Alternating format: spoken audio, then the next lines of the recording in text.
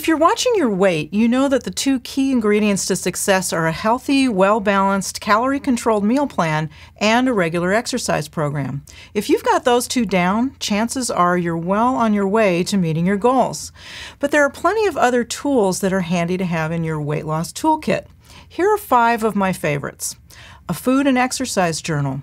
Keeping track of what you eat and how much exercise you get works because it helps you to monitor and change your behavior. Log your eating and exercise as you go, or you can try planning out your meals in advance and use the diary like a checklist.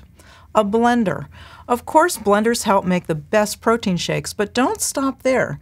Use your blender to whip up some cooked veggies with broth into a tasty low calorie soup, blend canned tomatoes with herbs into a quick sauce for chicken or pasta, or to chop firm veggies like carrots and cabbage for salads.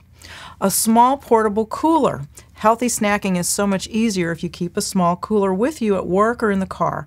Stock it with foods like protein bars, small cartons of yogurt or cottage cheese, cans of vegetable juice, and fresh fruit.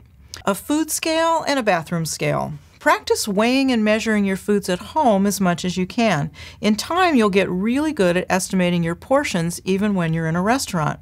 A bathroom scale helps you keep tabs on your weight, but resist the temptation to jump on it too often.